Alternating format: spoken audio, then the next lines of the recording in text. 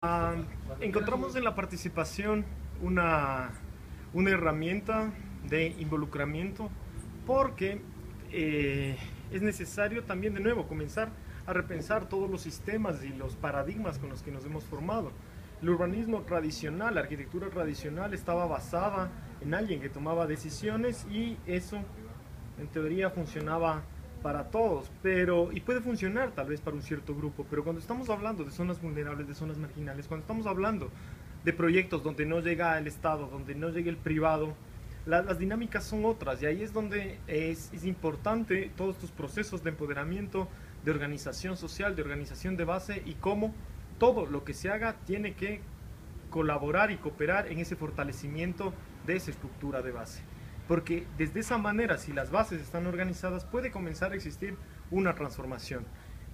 Eso no es ningún misterio, eso se viene haciendo ya desde hace mucho tiempo. Comunidades organizadas que comienzan a, a gestionar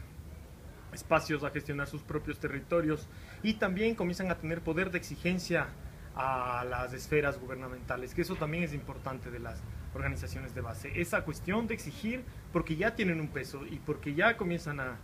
a ser fuertes. Creemos que básicamente en este momento, en una Latinoamérica donde los niveles de informalidad son tan altos, es una estrategia de que